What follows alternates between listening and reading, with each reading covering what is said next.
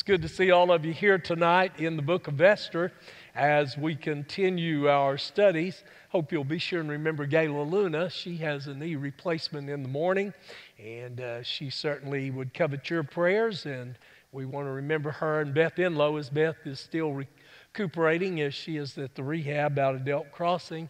Want to continue to pray for her. We have Bill Brown out in the hospital. Want to pray for him. Jackie Waldo went back to the nursing home today, and we certainly want to lift Jackie and Peggy up, and Danny and Tina. I know Danny has a heavy load, and I hope you will be sure and remember him. Also, his brother Doug, who is taking uh, treatments, and so we want to uh, be sure and pray for them. And uh, let me think who else is out there. Pat Hooper is also out there. We want to remember Pat Hooper and uh, Juanita uh, is Brown is back at the nursing home, but uh, Bill's in isolation, so you would, wouldn't need to go and visit him there at the hospital. And uh, Juanita went back to uh, to the nursing home, and she still has some uh, issues there. But we want to continue to remember all of these and uh, uh, continue to remember Levita Alexander as well. And God bless you for your prayer life and for uh, praying for the many needs of people that are out there uh, day by day by day. It's great to see all of you here tonight. Last Wednesday evening, we looked at chapter 2, verses 19 uh, to the end of that chapter, but I want to go back and discuss something in chapter 19 and uh, following, and as we get into chapter 3 uh, for this evening, uh, two things that happened in chapter 2 that was a huge uh, situation. And the, the first one is, of course, the finding and the crowning of a new queen, uh, Queen Esther.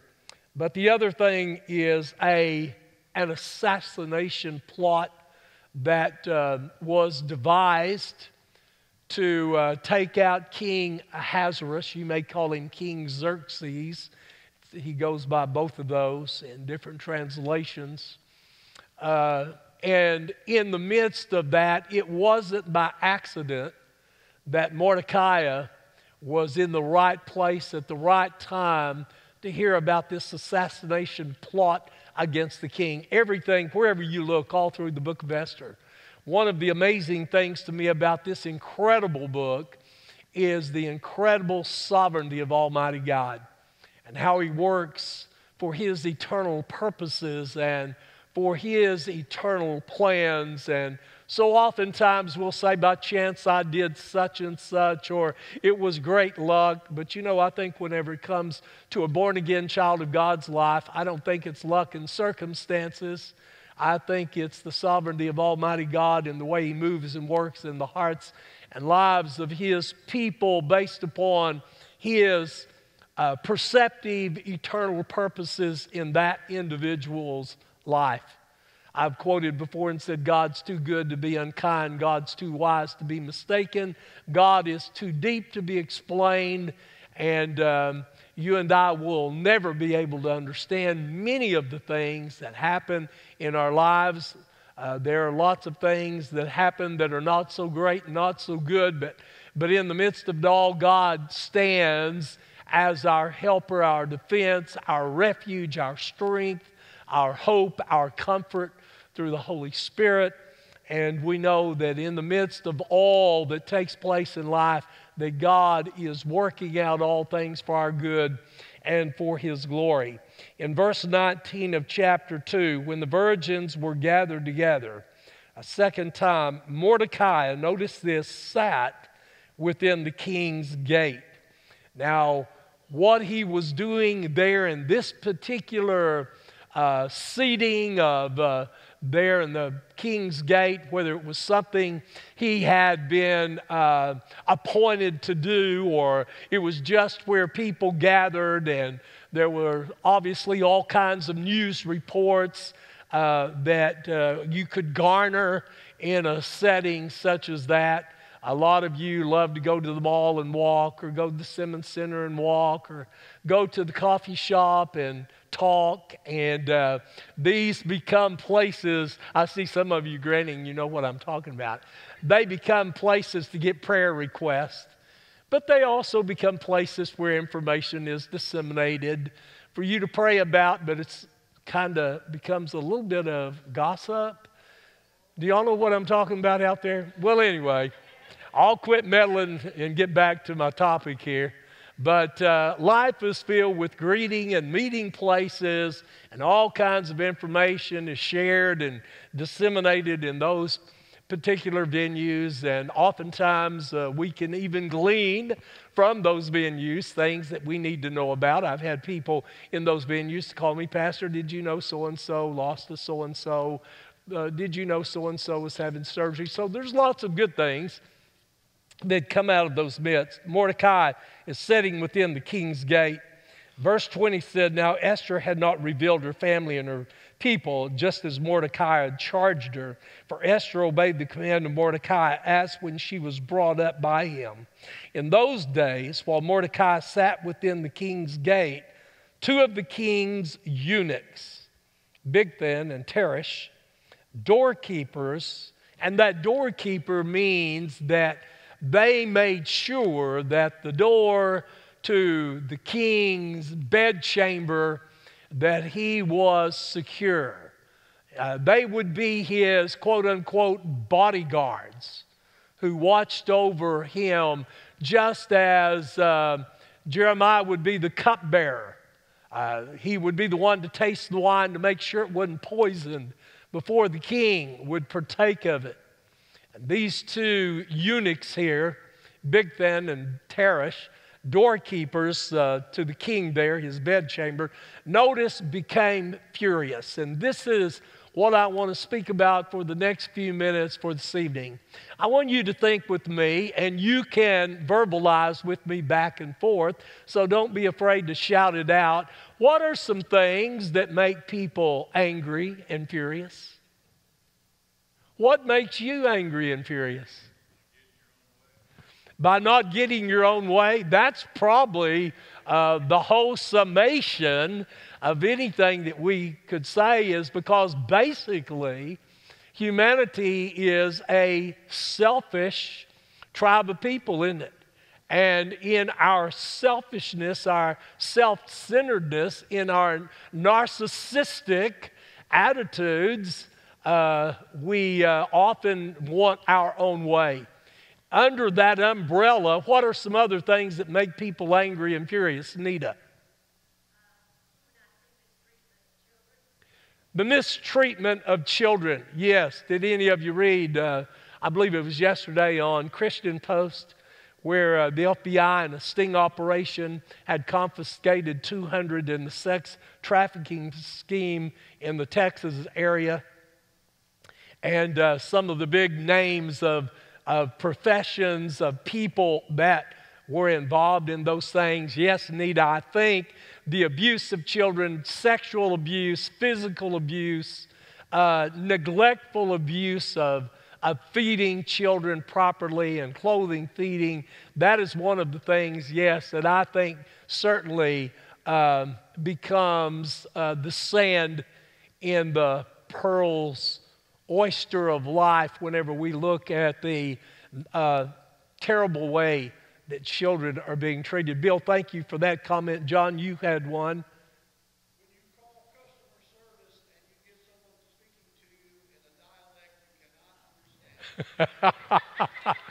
Getting a telemarketer on the phone that does not speak your lingo. Any of y'all there? Or to get a telemarketer on the phone, or you call them and uh, you have to go through 10 different automated voices to hear what y'all know what I'm talking about, what John's talking about. Lloyd, you had your hand up.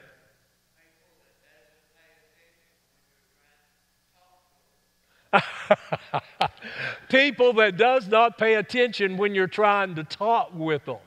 Yeah, you know, one of the uh, uh, four words that I think are hugely important is this Do you see me? Do you hear me? Yeah, that's a good one, Lloyd. Jimmy. A two tiered justice system, absolutely. Absolutely. I always learned a long time ago what's good for the goose is what? Good for the gander, right? Yeah, Sandy. Self serving politicians. Yes, all that gets caught up in the political mess rather than doing what the people elect them and send them in office to do. Absolutely. What are some other areas that bring frustration and uh, anger uh, and wrath to people's lives? People don't like criticism. Thank you, Lita. Well, you know, we call it constructive criticism. And yet, I, I, was reading in a book one day where constructive criticism is not always seen as constructive criticism. Some people see it more as destructive criticism. I think that's true, and I think it's probably the way that we receive that, accept it, maybe the attitude in which we, uh, uh, you know, sometimes we're caught. Have you ever noticed that you uh, might agree on one day and not be frustrated about the same thing a week later that frustrates you? Could it be our attitude and the venue in which we come across those? Yeah, that's a good one, Lita. Bobby. Drug dealers. Drug dealers, yes the drug trafficking that is going on and, and with gangs and uh, uh, all kinds of uh, drug uh, traffickers, drug dealers, uh, human sex trafficking. It is, it is really incredibly upsetting and distressing to realize the millions and billions of dollars that are made on that industry as well as the pornography industry. Okay, somebody else, what is something else? Yes, over here, D. I was wondering when somebody was going to bring that up. Rude drivers. Now, under the umbrella of rude drivers, would that encompass slow drivers that are going about uh, 10 in a 30 mile zone? Yes? Do what, Sandra? Not stopping at stop signs. Well, the only thing I can say for those that don't stop, oh, yeah, you're talking about the endangerment of somebody coming from a different direction. Yeah, absolutely. Any other things that uh, frustrate you, Lita? Okay, Lita said, I don't like to hear people use the name of God in a, a, a, vain way. Yes, I just said something to someone uh, just this very day about that particular thing. You know, they were using Jesus' name in a profane way. And, uh, I, you know, I just had to make a comment. I sometimes let those things pass, and sometimes I don't.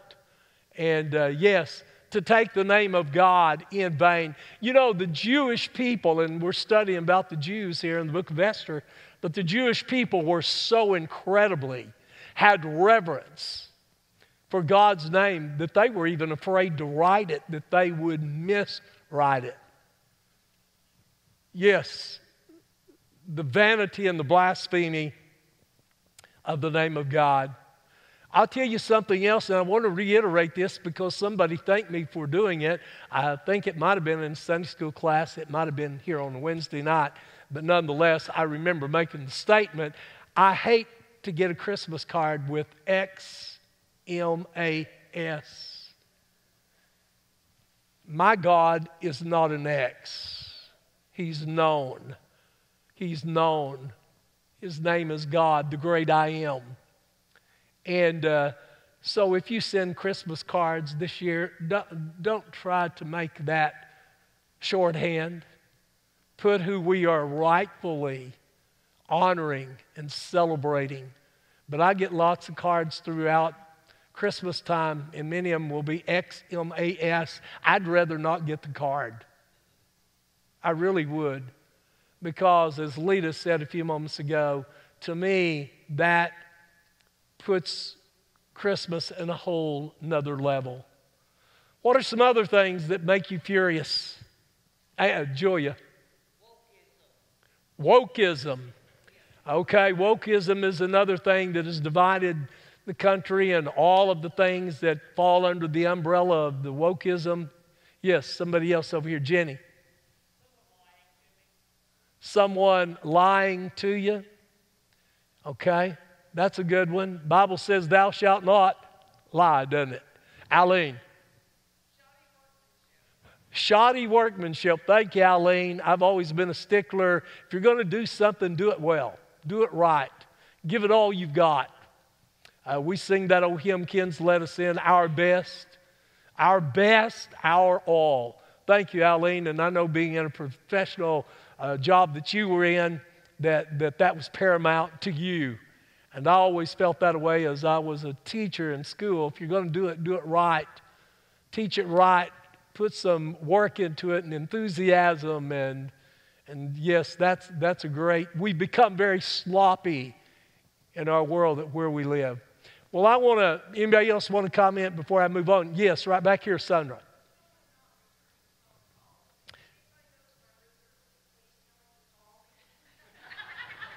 If somebody knows you're what? Oh, Sandra said, not returning phone calls. Yeah. Yeah, you know what happens whenever you don't return phone calls? I think generally figure one of two things what have I done? They don't like me. Or, and there are maybe other excuses, but uh, I think that is important. Returning them. Now, you may be a day late, but you know, when Jesus was four days late, he was still on time. So, all of these things that bring confusion, frustration, anger, hostility, um, all of these things, and I want you to think for me just a minute. Don't raise your hand. How many of you are on blood pressure medication? Do you realize what all of that does to the vascular system that you and I deal with on a daily basis? All of these things that frustrate, that anger us, and it all works against our health. It's interesting to me in verse 21. Here's the, the scene Mordecai is sitting in the king's gate. There's lots of activity that's flourishing in this setting, in this venue. And then there's two of the king's eunuchs. They are his bed chamber doorkeepers to make sure that he is kept safe. And notice the phrase became furious became furious. What was it that created the furiousness of these two doorkeepers? I think only you and I could surmise. We're not told what it was that brought the furiousness into this particular setting and their moment. I thought, what about maybe could they be angry because there's a new queen in town? Could they be angry because maybe Vashti had been very kind to them? Maybe they're angry because the king has vanquished her as if she never existed. Maybe it was that situation. Maybe it was the idea that others were gaining promotions that did not be needed to be put in some of the places that were there. I, I mean, I think our minds could surmise all kinds of things. We're not told what uh, caused the furiousness in this particular moment, but they became furious. And that word furious, when you use that word, it is speaking about incredible, an incredible buildup of an anger that had so encircled them to the, fa- to the point that they wanted to assassinate this king that they have been picked in order to protect. They're furious and sought to lay hands on King Ahasuerus. Verse 22 tells us So the matter became known to Mordecai. Do you think it was any coincidence? Do you think it was by a draw of luck that Mordecai sat there on that particular day, at that particular time, in order to hear an assassination plot against the king? Let me tell you, once again, the sovereignty of Almighty God is working through Mordecai to hear this plot because Mordecai will be the one who will pass it on to the queen, knowing that the Jews are in a precarious situation at best through the years as they have become exiles out of their country. So the matter became known to Mordecai, who told Queen Esther. And then notice what Esther did. Esther could have kept that to herself, but she didn't. Esther informed the king in, notice Mordecai's name. She didn't go trying to seek a brownie point for herself, but she goes and pays tribute to whom tribute was due of a man that saved the king from an assassination plot the other night on television. They were doing another one of the Kennedy documentaries. And there's been all kinds of, there are those that, that don't believe the Warren report. There are those that feel like there was a great conspiracy cover up.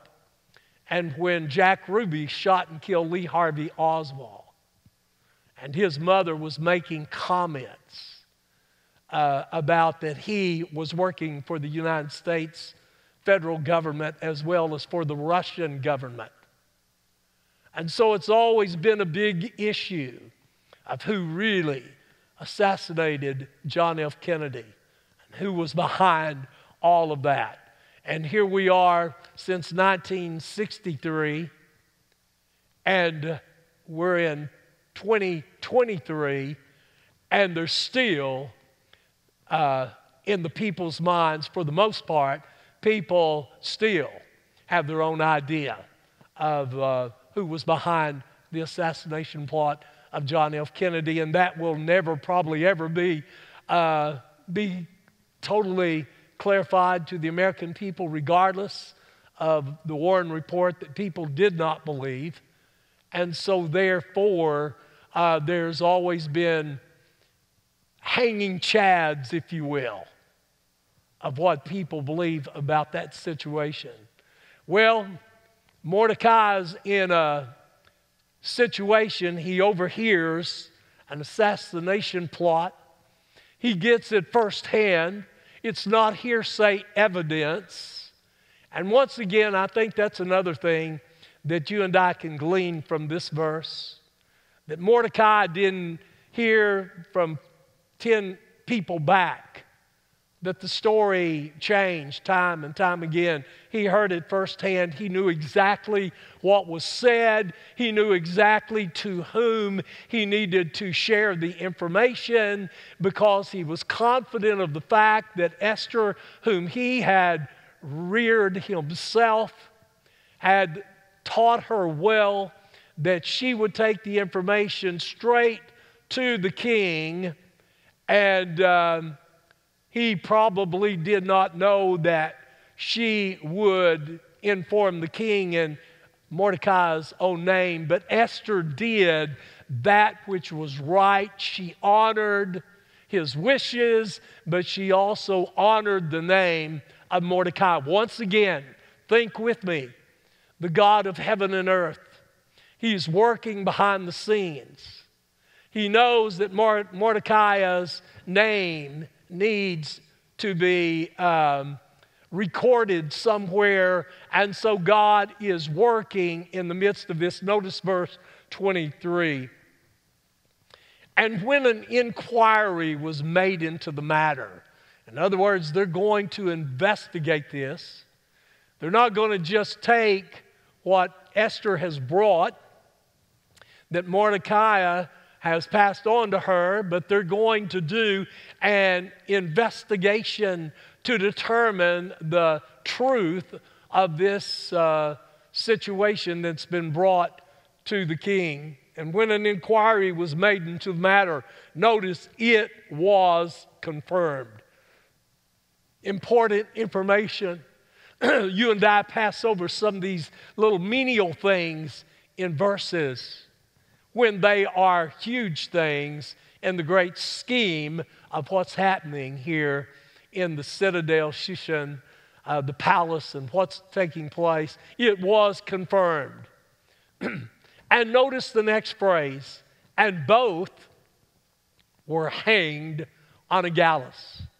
Now, that word hanged, uh, it was probably they were impaled on sticks or rods as was used during those days.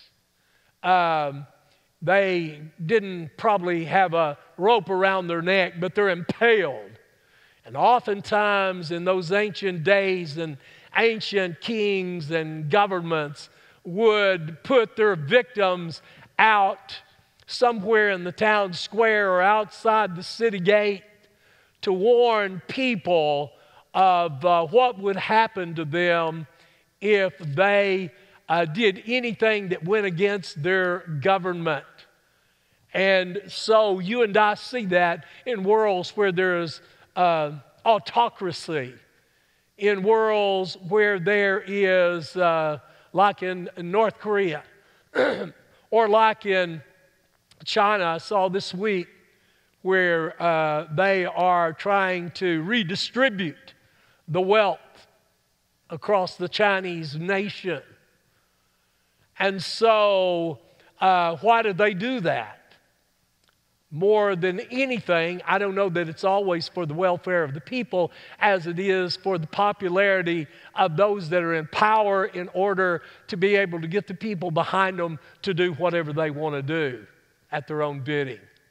But it's confirmed these two men, they're hanged uh, on a gallows, and it was written. Now, here's the other phrase that's important in verse 23 it wasn't just examined to find out, is it true?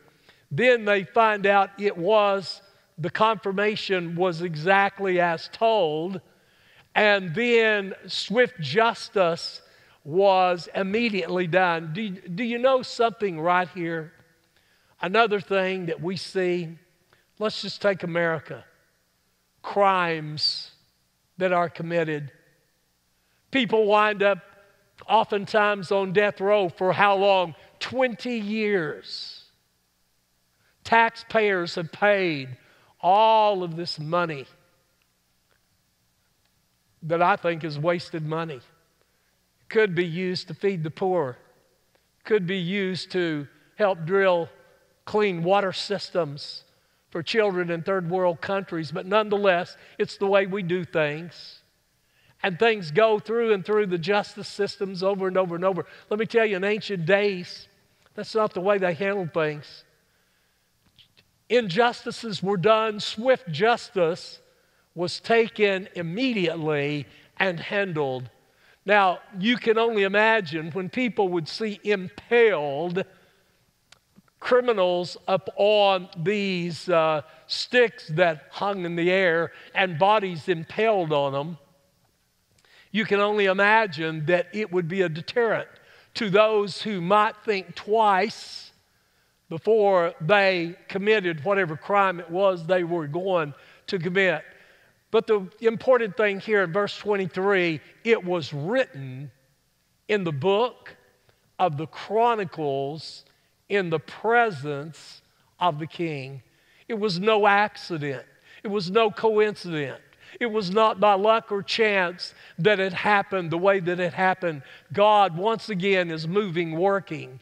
I think one of the biggest things you and I will learn someday when we all get to heaven, Ken led in that old him, uh, we'll understand it better by and by, one of these days. I think one of the things that you and I will understand better by and by uh, of the things that, that God has in His books, plural, about our lives once we become a child of the King. And then what do we do with life from there? And it was written in the book of the Chronicles, that word Chronicles, they chronicled everything about the Persian government, things that were vital, things that were hugely important. They are chronicled in books that the Persian government had. but this particular entry was journaled in the presence of the king. That will be hugely important. Notice, if you will, in chapter 3, verse 1. After these things, what things? Well, the crowning of a new queen, an assassination plot that had been confirmed, the hanging of the two perpetrators against the plot against the king and then the chronicling of this particular incident that gave Mordecai, a Jew, which is still not yet known, all of those things. So when you read after these things, uh, you know, the Bible is replete about some of these things. We'll see after these things. Um, or after these things, so it came down about, or in those days. We see those phrases, and those become uh, major transitional points as we move to a new thought here. after these things, everything that took place in chapters 1 and 2, King Ahasuerus promoted Haman. Well, Haman was a guy that you didn't want to have too much to do with. Haman absolutely hated the Jews. And here's another thing that I want to heavily emphasize tonight the Jews have been hated since the beginning that God chose them as his chosen people. We looked the other night, and I believe there were, what, 14,800,000 Jews presently in the world. You know that Hitler uh, assassinated, killed, incinerated, uh, shot, starved to death at least six million Jews back then, not to mention all the other uh, autocratic and uh, kings and the way they did the Jewish people. They've been scattered all over the world from uh, many, many years ago. And uh, one of the reasons we know we're living in end times is because they, the Bible tells us that they would be brought back to their homeland. And of course, that all began in May of 1948 and the Jewish nation uh, became a nation in one day's time. The Bible had predicted that's the way it would be. And so the regathering of the Jews to their homeland. God said over in the book of Genesis, chapter 12, I believe it is, verse 3 I'll bless those that bless Israel, and I'll curse those that curse Israel. You and I are living in a time in American history where there's a lot of anti Semitism, anti against, or in place of Semitism, speaking of the Jewish people. We see that, uh, that the Jews are being maligned. Jews and Christians are being maligned at every turn of the road in the world that you and I are living in today. And let me tell you, there's nothing Satan would love than for the Jewish people to be destroyed But I can tell you, as long as the stars are in the heavens, the Bible says they're going to be there. And let me tell you, when there's not enough of them to fight, I'll tell you, the God of heaven will fight for them. And he'll use whatever means in order to uh, fight in their defense. Now, Haman, let's talk about him. Who is he? Verse 1 of chapter 3 says he's the son of Hammedatha, the Agagite. Well, who were they? Well, Agag was the king of the Amalekites. Who were the Amalekites? Well, do y'all remember Jacob and Esau? Any of you remember them? Those two brothers? The Amalekites were from the lineage of Esau. And uh, the Amalekites always were enemies, they were forever uh, foes of the Jews. When the Jewish people were emancipated uh, and liberated from Egyptian bondage, the Amalekites were some of the ones that attacked them. And what the Amalekites would do, where does hatred come from? Now, we all know hatred sin, right?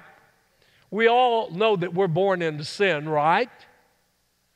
But let me tell you, where do little kids learn to put on the KKK garb? Where do they learn? Who do they learn it from? Their parents. Where did the Amalekites? Uh, where did all of the hatred for the Jewish people come into play with them? Let me tell you, they taught their children. They instilled within them hatred. And let me tell you today, children grow up the way that they are taught through whatever the prejudices are of the parents or the grandparents. Those prejudices, those hatreds become part of generational passings of information that create all of these types of things. And so Haman automatically, at this particular juncture, in verse 1 of chapter 3, Haman doesn't know that Mordecai is a Jew.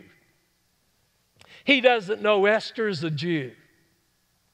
But deep in his lineage, in his background, he, the, they hate the Jewish people. Now, if you'll remember when Saul, King Saul, the first king of the nation of the Jewish people, God told Saul to get rid of the Amalekites. Well, and their livestock and all their families. Now, you might say, well, why, why would God do that? Doesn't that sound awfully cruel? I mean, Nita mentioned a while ago uh, about children and the way they're maligned and mistreated and abused and, and all of those kinds of things. Why would God tell King Saul to rid the Jewish people of the Amalekites? I'll tell you why, because I read somewhere that God is omniscient. That means He's all knowing. He knows the beginning to the end, the end to the beginning. He knows before it ever, ever came to be. God knows what the Amalekites were going to be, what they were going to become. They were be going to become a stumbling block to the Jewish people. And God told Saul to rid the nation of those people. Guess what Saul did? Saul decided boy, they had some pretty good looking sheep. And so Saul kept, chose the choicest, healthiest, the ones that would have won the blue ribbon and the trophy in the State Fair of Oklahoma. He chose the best of the stock and he kept it. And not only that, he let the king, Agag, live. Well, God had plan B since Saul didn't carry out plan A, and Saul was disobedient to the command of Almighty God. So God had a guy by the name of Samuel. You ever heard about him? His mother Hannah gave him over, remember, to the priest at uh, a place called Shiloh to mentor him. Hannah was barren. She wanted a child. She prayed desperately for a child. She prayed to God, if you'll give me a child, I will give him to you all of his days. And she had that little boy, Samuel. And you'll remember that three times in the night he thought the priest was calling him Eli. And Eli said, If, if you hear the voice again, it's the Lord. And it was the Lord that was calling Samuel. Samuel would be God's prophet. He would proclaim during those days. And so Samuel went and took care of Agag, killed him with the sword because of something Saul had been commanded by God to do, and Saul did not take care of the business, which had created incredible challenges for the Jewish people. Haman, Esther chapter 3, verse 1 Haman is a relative down through the lineage of those ghastly, ungodly, paganistic people that hated the Jews. So, we've looked at the first part of verse 1. Go to the uh, connecting word there, the conjunction and. And what did Ahasuerus do? He advanced Haman and set his seat above all the princes who were with him. Remember, there's 127 provinces in the Persian Empire. It was huge. It's been one of the greatest and the well known of all the ancient empires of the ancient world. Haman? Why on earth did he get the advancement? Mordecai, you're the one that foiled the assassination plot. You're the one that saved the king's life. You're the one that they recorded it in the Chronicles in the presence of the king.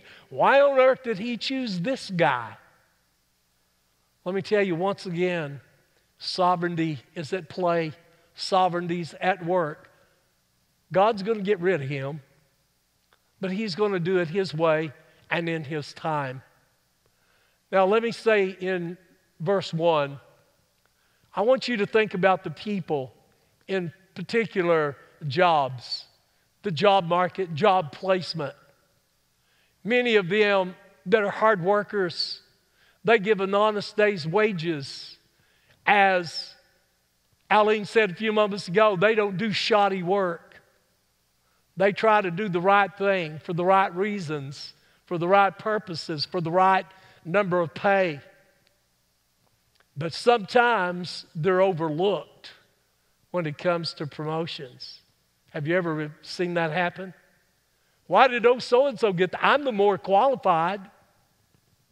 Let me tell you, in the world that you and I live in today, there are people that have deep pockets. Must I go any further? Can you read between the lines? Some people can pay their way through and up the ladder. And that's the way it happens in our world. It goes back to the word, I think one of you used, Jimmy, uh, I believe, used the injustices of a two tiered system uh, that we have in our world. You see, I think all of those things are things that bring disgust and frustration and division and divide in the world that you and I live in. And we see it all over the world. Some people are promoted, some people are elevated to higher positions when there sometimes are better people that are much more qualified. They may not have the degree, but they can do the work. And they're gifted. And so many times, many of those people feel brokenhearted. They, some people obviously continue throughout a lifetime of holding judges or grudges, excuse me. Maybe they hold the judges too, but they hold grudges. And I want you to think about all of those kinds of injustices that bring stress and undue problems to the elasticity of the vascular system, which creates incredible medical issues for us. And here's a guy, he's a Jew hater, he's anti Semitic. He'll let the cat out of the bag soon, we'll see. And it's all in God's plan that all of these people nestled throughout the verses of the book of Esther that God is working his Rubik's Cube to get them in the right position at the right time, at the right place for his eternal purposes that he wills and they will be carried out. Let's look at verse 2 and then I'm going to let you go here. And all the king's servants who were within the king's gates bowed and paid homage to Haman. For so the king had commanded concerning him, but Mordecai would not bow or pay homage. That's a really packed verse that verse is incredibly filled, and all the king's servants, King Ahasuerus, why in creation would you put a man like Haman in a position where he wants self worship? He wants to be idolized as not only the second in command of the Persian government, but he wants to be worshiped as a God himself. Ahasuerus, what are you thinking? I mean, boy, that's a stupid, idiotic thing to have done. Where on earth is your discernment and your intuition, uh, whatever you're choosing behaviors and characteristics of people to put into a position of second in command? Goodness gracious. King Ahasuerus, you're not nearly quite as smart as I thought you were. Can you only imagine the thoughts that roam through the various rooms of the brain about this particular king and the one he had chosen? Notice all the people would bow. When Haman came to the gate, he loved it. You talk about self aggrandizement. You talk about somebody who believed his own press reports. That's one of the big problems we have in America today. There's too many of them that believe their press reports. Folks, I learned a long time ago don't believe all your press reports that you hear. Notice they come to the king's gate. Oh, they bow before him. They honor him, they reverence him. But there's one there that's not going to do it. He reminds me of the three in the furnace in the book of Daniel. They looked, and there was a fourth one in there, likened to the Son of God. Let me tell you, they wouldn't bow, they wouldn't bend, and they did not compromise. I want you to notice Mordecai he stayed true to his Jewish heritage. In fact, in the Torah, which was the law of Moses, which would be Genesis, Exodus, Leviticus, Numbers, Deuteronomy, in that the law of Moses, and in the Torah, the book, the law, one of the things that they were commanded in the Shema was to love the Lord their God with all their heart, with all their soul, and with all their mind. They were not to have any other gods before Him. In the Ten Commandments, they were not to worship idols, they were not to worship kings. They were, do you remember over in the book of Revelation when John, the Revelator, bowed at the angel? Remember what the angel said? Oh, don't, don't worship me. Worship only God alone. Angels are just created beings. And the psalmist said that he's made man a little lower than the angels. And angels are not to be worshiped. And I'm afraid there's lots of people that worship angels. There's people that just absolutely worship angels. Hebrews said those were created beings to minister to those who will inherit salvation. That's why they were created. God has a warring angel called Michael. He is the watch care angel over the nation of Israel. Gabriel is the announcing angel. He announced the virgin birth. And so, what we have here is from the Amalekite lineage,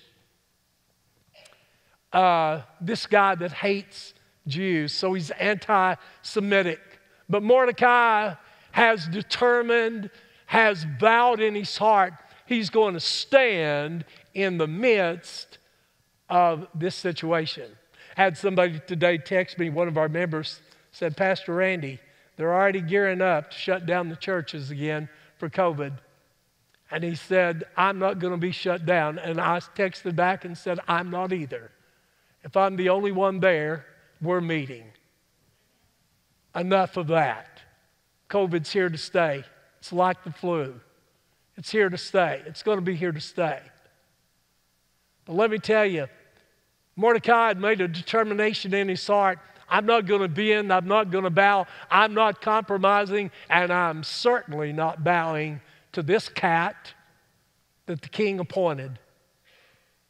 And so that right there, Mordecai is a marked man by a Jewish hater by the name of Haman. And we'll pick it up there. As Paul Harvey said, the rest of the story next time. God bless you for being here tonight. Please be safe. Pray much between now and Sunday that we'll have another great day here at New Hope. Would you stand as we pray together? Father God, thank you for the blessings through the Holy Spirit that you reveal to us through your word. Thank you for this good group. Thank you for their willingness, their devotion, their commitment. And for those that listen to this broadcast and those that have listened in tonight, God help us that we would grow, that we would learn, that we would enlarge our coast. Help us, oh God, that our spiritual, biblical territory would enlarge in our knowledge of what you would have us to apply to our daily lives. Take each one safely home. Return us back on Sunday morning. And Father, give us a great Sunday, I pray. In Jesus' name. And all God's people said, Amen. God bless you for being here tonight.